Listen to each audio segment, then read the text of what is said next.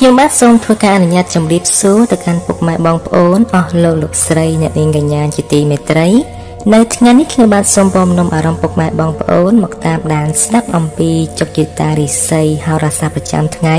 ដែលខ្ញុំបាទតែងតែធ្វើការដកស្រង់និងអានជូននៅក្បួនហោរាទស្សទាយចិនសាដែលល្បីឈ្មោះដោយលោកគ្រូដងដៃលីនដូច្នេះសូមពុកម៉ែបងប្អូនធ្វើការ comment លេខសំណាងនិងសាធុសាធុចំនួន3ដង រួចសូមធ្វើការ share ចេញភ្លាមដើម្បីទទួលលាភធំចូលផ្ទះនិងសំណាងតាមជាប់ខ្លួនរហូតដូច្នេះកុំឲ្យខាត់ពេលយូរសូមតាមដានស្ដាប់ជាមួយខ្ញុំបាទ30 TV ដូចតទៅ ការមើលទិសបេះដូងរស់ក្នុងការធ្វើដំណើរឬការប្រកបមុខរបររកស៊ីផ្សេងផ្សេងអស់លោកអ្នកត្រូវប្រកាន់យកតាមទិសបេះដូងរស់នេះគឺថ្ងៃអាទិត្យនេះនឹងបានសុខនិងជោគជ័យនៅទិសខាងជើងបើមើលទិសបេះដូងស្លាប់នៅថ្ងៃអាទិត្យនេះផងកុំចោលយាត្រាទៅទិសខាងត្បូងធ្វើអ្វីមិនក៏ប្រសើរឡើយ ចំពោះការមើលតាមទំនាយជ័យឬក្នុងការអង្គុយឲ្យមានសេរីសួស្តីជ័យមង្គលក្នុងការរៀបមង្គលការឬសានព្រេងផ្សេងផ្សេងនិងបើចង់ទទួលបានជោគជ័យក្នុងការលេងល្បែងអ្វីមួយនោះសូមអង្គុយនៅទិសខាងជើងបែរមុខទៅរកទិសអាគ្នេយ៍ទំនាយទីថាបើកាលណាបានប្រតិបត្តិតាមនេះពិតមែនពិតជាមានជោគជ័យគ្រប់កលៈទេសៈចំពោះការមើលតាមក្បួនកក្របត្តិយិងក្រឡាក្នុងការចេញដំណើរពីប្រទេសប្រកបទៅដោយជោគជ័យនិងសេរីសួស្តីមួយថ្ងៃពេញនៅក្នុងថ្ងៃអាទិត្យនេះ ពុកម៉ែបងប្អូនត្រូវដឹងម៉ោងសុកម៉ោងគ្រោះម៉ោងលៀបដោយខាងក្រោមបាទចេញដំណើរពីផ្ទះចាប់ពីមុនរងាទៅដល់ម៉ោង6កន្លះព្រឹកទំនីទាយថាជាម៉ោងយប់ព្រឹកគឺជាម៉ោង04ក្នុងចន្លោះម៉ោងនេះគឺល្អណាស់ធ្វើអ្វីនឹងទទួលបានជោគជ័យគ្មានគោលការណ៍អ្វីអាចចូលបានឡើយគឺមានតែទទួលបាននៅលៀបបរិបូរណ៍បាទចេញដំណើរពីផ្ទះចាប់ពីម៉ោង6កន្លះដល់ម៉ោង11ព្រឹកនៅចន្លោះម៉ោងនេះគឺជាម៉ោងកាក់ក្របាត ជាម៉ោងអន្តរាយធ្វើចំនួនរកស៊ីជួញដូរផ្សេងផ្សេងមិនគួរចេញនៅម៉ោងនេះឡើយអាចនឹងត្រូវបាត់បង់ទ្រព្យសម្បត្តិអន្តរាយជាមិនខានឬក៏មិនត្រូវបោះទុនរកស៊ីឡើយបើចេញនៅចន្លោះម៉ោងនេះបើចេញដំណើរពីផ្ទះចាប់ពីម៉ោង11ព្រឹកដល់ម៉ោង2រសៀលគឺជាម៉ោងទទេគ្មានអ្វីសោះមានន័យថាគឺមិនបានទទួលលៀបអ្វីហើយក៏មិនជួបគ្រោះអ្វីដែរបើចេញដំណើរពីផ្ទះចាប់ពីម៉ោង2រសៀលដល់ម៉ោង5ល្ងាចគឺជាម៉ោង02 ជាម៉ោងសុខសាន្តធ្វើដំណើរទៅណាមកណាគឺបានសុខល្អណាស់នៅក្នុងចន្លោះម៉ោងនេះបាទចេញចំណាពីផ្ទះចាប់ពីល្ងាចម៉ោង5ទៅដល់ម៉ោងចូលគេងវិញគឺជាម៉ោង01មានន័យថាការធ្វើដំណើរឬធ្វើចំនួនផ្សេងផ្សេងមិនល្អឡើយគឺជាគ្រោះកាចនៅក្នុងចន្លោះម៉ោងនេះជាពិសេសមិនគួរធ្វើដំណើរឆ្ងាយឡើយហើយបើធ្វើដំណើរគួរប្រយ័ត្នចរាចរណ៍ខ្ពស់បំផុតបាទនៅថ្ងៃអាទិត្យនេះសូមធ្វើការបួងសួងឲ្យคล้ายជាថ្ងៃលៀងគ្រោះចង្រៃសត្រូវប្រែคล้ายជាមិត្ត និងត្រូវជាថ្ងៃនាំលៀបនឹងទ្រព្យសម្បត្តិឡើងខ្ពស់សម្រាប់ឆ្នាំទាំង12នេះបាទជាបន្តសូមពុកម៉ែបងប្អូនតាមដានស្ដាប់នៅរិស័យឆ្នាំទាំង12ជាមួយ30 TV Channel យើងខ្ញុំដូចតទៅ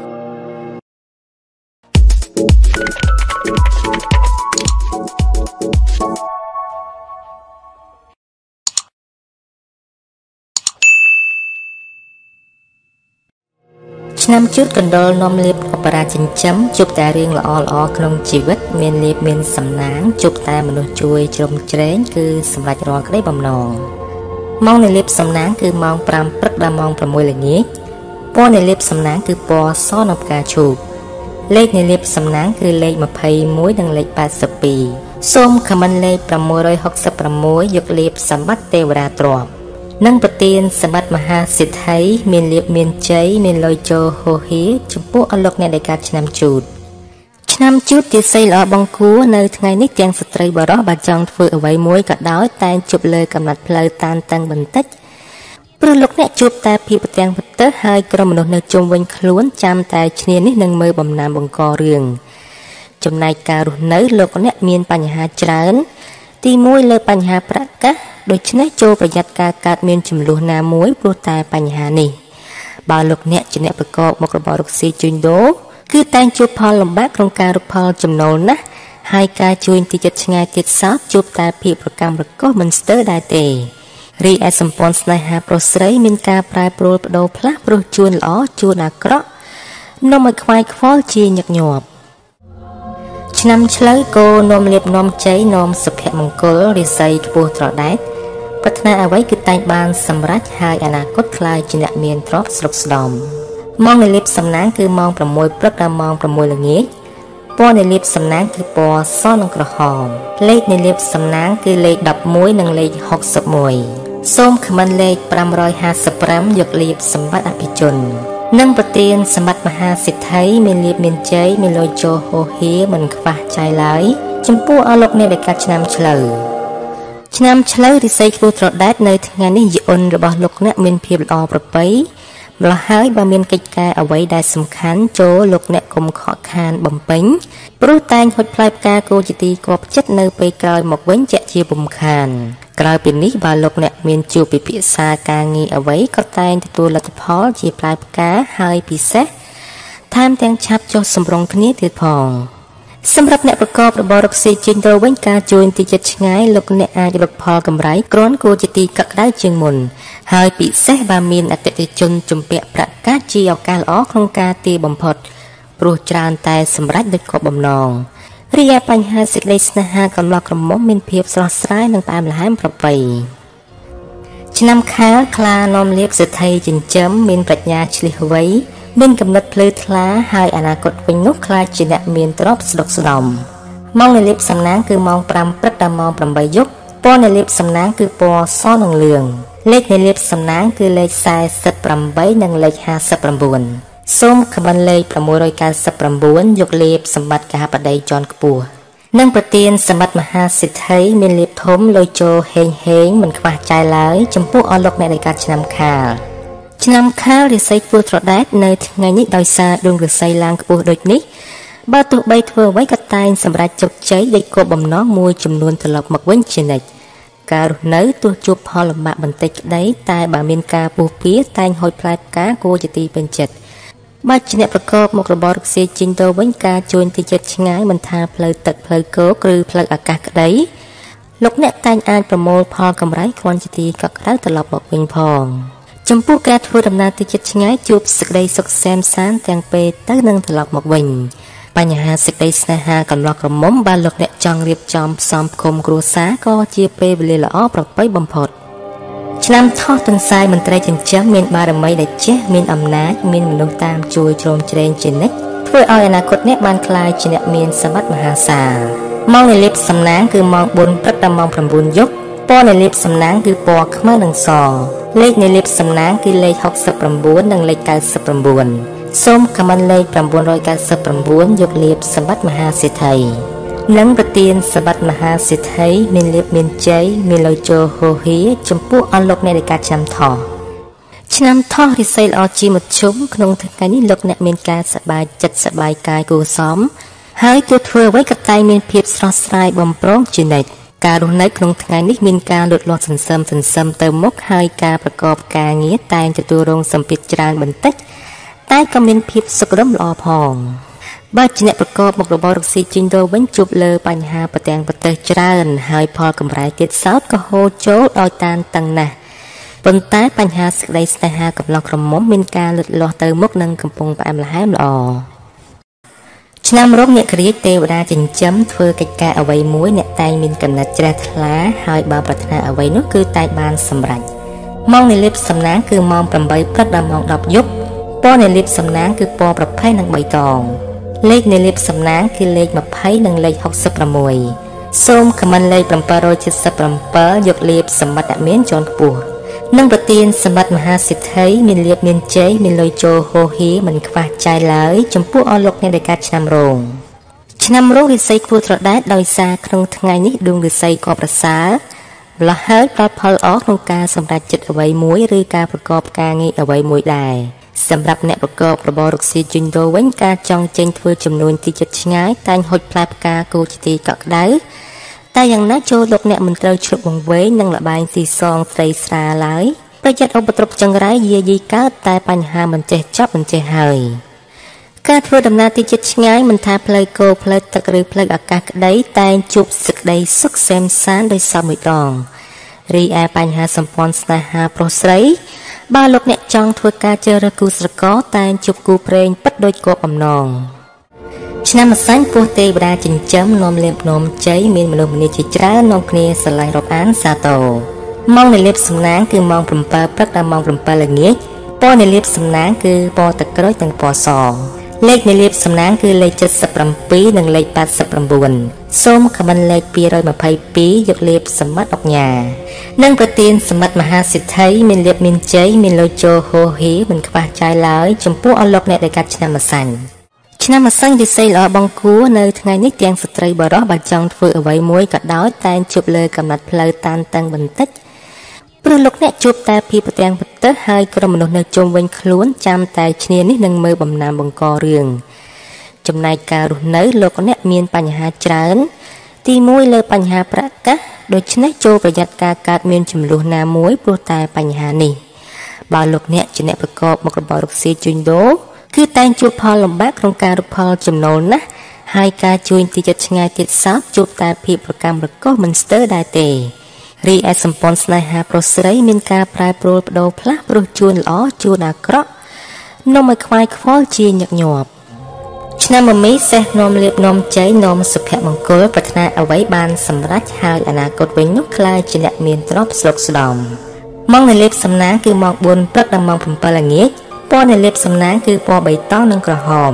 លេខនៃលៀបសំណាងគឺលេខ77និងលេខ99សូមខមមិនលេខ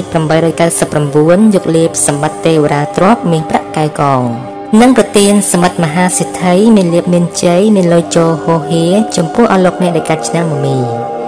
ឆ្នាំមមីរិស័យល្អបង្គួរក្នុងថ្ងៃនេះដំណើរជីវិតរបស់លោកអ្នកមានការចម្រើនលូតលាស់សន្សឹមសន្សឹមទៅមុខឥតមានថយក្រោយទេដូច្នេះទោះធ្វើអ្វីអ្វីក៏ដោយ តែងតែទទួលផ្លែផ្កាគួរជាទីពេញចិត្តត្រឡប់មកវិញដែរការប្រកបការងាររបស់លោកអ្នកមានការចម្រើនលូតលាស់ច្រើនមុខ ដូចជាការងារចាស់ឬការងារថ្មីក៏ដោយឲ្យតែមានការប្រឹងប្រែងបន្តិចតែហុចផលល្អល្អមកវិញជានិច្ចសម្រាប់អ្នកប្រកបរបររកស៊ីចិញ្ចោវិញបើទោះបីលោកអ្នកជួយទីចិត្តឆ្ងាយមិនថាផ្លូវគោកផ្លូវទឹកក្តីតែហុចភពផលគ្រាន់ជាទីកក់ក្ដៅប៉ុន្តែយ៉ាងណាមិនត្រូវយកខ្លួនបៀតបៀនលបែងស៊ីសងឡើយព្រោះនាំកាត់ឧបទ្រពចង្រៃការលក់ដូរមិនជឿនលឿនទៅមុខ ចំពោះបញ្ហាសេចក្តីស្នេហាប្រុសស្រីកើតមានភាពប្រទាំងប្រទះនិងប្រឆាំងគ្នាច្រើនឆ្នាំមមែប្រពេនេះមានបារមីដែលចេះមានអំណាចមានមនុស្សជួយជ្រោមជ្រែងការងារទុច្ចធំធ្វើឲ្យអនាគតអ្នកបានក្លាយជាមនុស្សមានសម្បត្តិមហាសាលម៉ោងនៃលេបសំណាងគឺម៉ោង6ព្រឹកដល់ម៉ោង8យប់ ពណ៌នៃលេបសំណាងគឺពណ៌ខ្មៅនិងពណ៌ស្វាយលេខនៃលេបសំណាងគឺលេខ19និងលេខ29សូមខមមិនលេខ799យកលេបសម្បត្តិសំពៅលួងនិងប្រទានសម្បត្តិមហាសិទ្ធិមានលេបមានជ័យមានលុយជោហូហៀចំពោះអស់លោកអ្នកឯកាត់ឆ្នាំមមែឆ្នាំមមែរិស័យគួត្រដែតនៅថ្ងៃនេះដំណើរជីវិតរបស់លោកអ្នកមានភាពកប្រសើរហើយបើទោះបីធ្វើអ្វីក៏តែងមានភាពភ្លឺថ្លានិងទទួលជោគជ័យជានិច្ច ការរស់នៅជួបភាពស្រស់ស្រាយនិងមានការជួបសេចក្តីសុខដុមល្អណាស់បើជាអ្នកប្រកបមុខរបររកស៊ីជីងដូវិញមានការរីកលូតលាស់ទៅមុខគួរសមហើយបើលោកអ្នកចង់បើករបរថ្មីឬចេញធ្វើចំនួនទីចិត្តឆ្ងាយតែងហុចផ្លែផ្កាមកវិញគូជាទីពេញចិត្តជានិច្ចចំណែកបញ្ហាសម្ព័ន្ធស្នេហាកំឡោះក្រមុំឬពុះម៉ាយមេម៉ាយក្តីបើលោកអ្នកចង់ផ្សំផ្គុំគ្រួសារក៏ជាពេលវេលាល្អប្រពៃបំផុត ឆ្នាំវកស្វាទេពឧបរាជចិញ្ចឹមមានបារមីដែលជះមានអំណាច មានមនុស្សជួយជ្រោមជ្រែងការងារទុច្ចធំដើម្បីឲ្យអនាគតអ្នកបានក្លាយជាមនុស្សមានយុទ្ធសាស្ត្រខ្ពង់ខ្ពស់និងមានសម្បត្តិមហាសាលម៉ោងនៃលៀបសំណាងគឺម៉ោង5ព្រឹកដល់ម៉ោង6ល្ងាចពណ៌នៃលៀបសំណាងគឺពណ៌សនិងខ្មៅលេខនៃលៀបសំណាងគឺលេខ1និងលេខ69សូមខមមិនលេខ168យកលៀបសម្បត្តិមហាសិទ្ធិនិងប្រ ទានសម្បត្តិមហាសិទ្ធិមានលៀបធំចូលផ្ទះលុយកាក់មាសប្រាក់មិនខ្វះចាយឡើយចំពោះអស់លោកអ្នកដែលកាត់ឆ្នាំវោកឆ្នាំវោករិស័យខ្ពស់ត្រដែតនៅថ្ងៃនេះផ្ដល់ផលល្អសម្រាប់លោកអ្នកដំណើរកិច្ចការងារពីព្រោះថាតែងមានការសហការពីអ្នកដតីនិងតែងហុចផ្លែផ្កាមកវិញគ្រាន់ជាទីពេញចិត្តផងបើលោកអ្នកជាអ្នកប្រកបមុខរបររកស៊ីជីងដូលោកអ្នកកុំសក់អង្គើយត្រូវរវិសដៃរវិសជើងព្រោះមិនដូច្នេះទេ ទ្រពលៀបដែលបំរុងធ្លាក់ដល់ដៃនឹងត្រូវបោហួសធ្លាក់ទៅលើអ្នកដតីវិញជាជាពុំខានរីឯបញ្ហាសេចក្តីស្នេហាកំឡោះក្រមុំមានភាពស្រស់ស្រាយនិងមានការចេះអត់អន់ឲ្យគ្នាល្អណាស់ឆ្នាំរកាមន់នាំលេបនាំជ័យនាំសុភមង្គលប្រាថ្នាអ្វីគឺតែងបានសម្រេចហើយអនាគតខ្លាចជាអ្នកមានទ្រព្យស្រុកស្ដំនិងយុស័កខ្ពង់ខ្ពស់ម៉ោងនៃលេបសំណាងគឺម៉ោង8ព្រឹកដល់ម៉ោង10យប់ពណ៌នៃលេបសំណាងគឺពណ៌ប្រផេះនិងក្រហម លេខនៃលេខសំណាងគឺលេខ21និងលេខ99សូមខមមិនលេខ868យកលេខសមិទ្ធអុកញ៉ានៅក្នុងថ្ងៃនេះនឹងប្រទានសមិទ្ធមហាសេដ្ឋីមានលៀបមានជ័យនៅលើជោហូហេចំពោះអស់លោកអ្នកនៃការឆ្នាំរកាឆ្នាំរការិស័យល្អជាមធ្យមនៅថ្ងៃនេះការប្រកបការងារមានការចម្រើនលូតលាស់យឺតលះហើយងាយបង្កកំហុសនិងមានបញ្ហាចំនួនកាត់ឡើងផង សម្រាប់អ្នកប្រកបរបររកស៊ីជីងដូវិញមិនមានការលុតលាស់ទៅមកគួរជាទីកាត់សម្គាល់ទេ គឺលោកអ្នកមានតែដំណើរថយក្រោយច្រើនជាងដូចនេះបើចង់ធ្វើអ្វីមួយធំដុំគួរតែមានការប្រយ័ត្នប្រយែងឲ្យបានខ្លាំងក្លាទើបអាចជៀសផុតពីបញ្ហាលំបាកទាំងពួងទៅរួចការធ្វើដំណើរទីជិតឆ្ងាយចូលប្រយ័ត្នក្រុមមនុស្សបៀតបៀនយាយីដោយប្រការណាមួយរីឯបញ្ហាសេចក្តីស្នេហាកំឡោះក្រមុំឬពោះម៉ាយមេម៉ាយក្តីមានដំណើរពុំល្អទេ ចូលលោកអ្នកប្រយ័ត្នក្រុមមនុស្សចូលមកបំបីដោយប្រការណាមួយឆ្នាំចសំណក់នាំលៀបអុកញ៉ាចិញ្ចឹមមានសំណាងឈ្នះអស់មេសត្រូវប្រាថ្នាអ្វីគឺតែបានសម្រេចហើយអនាគតវិញនេះបានក្លាយជាសិទ្ធិខាប់ប្តីឬក៏អភិជនជាន់ខ្ពស់ម៉ោងនៅលៀបសំណាងគឺម៉ោង8ព្រឹកដល់ម៉ោង7យប់ពណ៌នៅលៀបសំណាងគឺពណ៌ផ្ទៃមេឃនិងស្វាយ លេខនៃលេខសំណាងគឺលេខ45និងលេខ66សូមខមមិនលេខ999យកលេខសម្បត្តិមហាសិទ្ធិនិងប្រទៀនសម្បត្តិមហាសិទ្ធិមានលេខធំចូលផ្ទះលេខកាក់មាសប្រាក់មិនខ្វះចាយឡើយចំពោះអស់លោកអ្នកដែលកាត់ឆ្នាំចឆ្នាំចរិស័យខ្ពស់ត្រដែតដោយសារថ្ងៃនេះជាអ៊ុនឡើងខ្ពស់ដូចនេះ បើលោកអ្នកចង់ពឹងពាក់ដោយការខ្ចីប្រាក់កាសឬរបស់អ្វីមួយពីអ្នកដទៃគេតែងអាណិតអាសូរឲ្យដោយបំណងមួយចំនួនផងការរស់នៅមានភាពសុខដុមនិងកំពុងកាត់ការវាគុំត្រជាក់ត្រជុំល្អប្រពៃណាស់សម្រាប់អ្នកប្រកបមុខរបររកស៊ីជិញតូវិញមានការទិញចូលលក់ចេញគ្រាន់បើហើយពិសេសបើមានបើករបរថ្មីថ្មីផងល្អប្រពៃណាស់ការធ្វើដំណើរទីជិតឆ្ងាយជួបសេចក្តីសុខសែនសានដោយសពមួយដងរីឯសម្ព័ន្ធស្នេហាកំណត់ក្រមុំ ឬពោះម៉ាយមេម៉ាយក្តីបើមានចំនួនវិវាទហើយចង់ធ្វើការដោះស្រាយក៏ជាឱកាសល្អបំផុតពីព្រោះមិនត្រឹមឆាប់ត្រូវរើគ្នាទេលោកអ្នកអាចបែរមកផ្អាមលហែមទៀតផង